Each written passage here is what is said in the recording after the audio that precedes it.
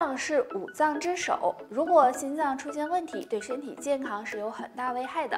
那心脏不好会有哪些表现呢？下面我们来看看。表现一：睡觉时咳嗽。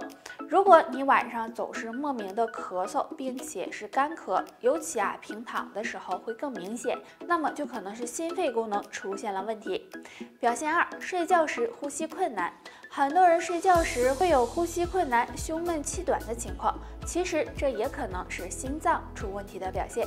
表现三：睡觉时手脚冰凉。到了晚上，人的血液循环会变慢，这时心脏供血也会受到影响。若是心脏出现问题，那么就可能会有手脚冰凉、浑身发冷的情况。所以，我们平时要多注意养心，可以呢常喝点桂圆红枣茶。有养护心肌、宁心安神的功效，有益身体健康。得了，就唠到这儿吧，大家。